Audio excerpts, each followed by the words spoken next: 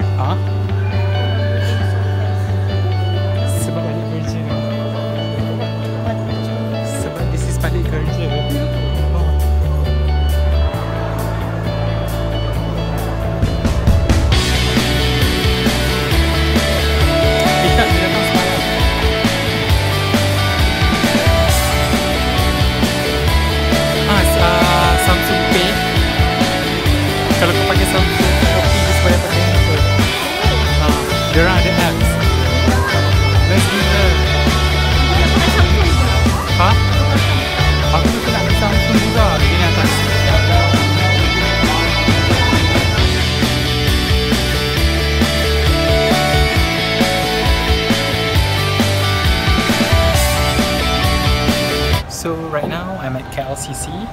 I'm gonna have my lunch, my dinner time here.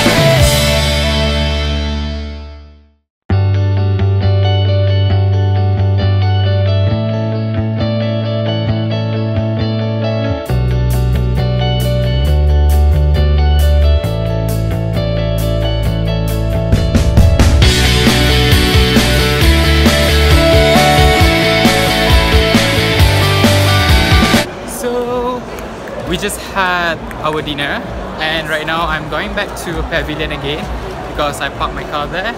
And I'm gonna end this vlog this vlog now. So see you guys in the next video. Bye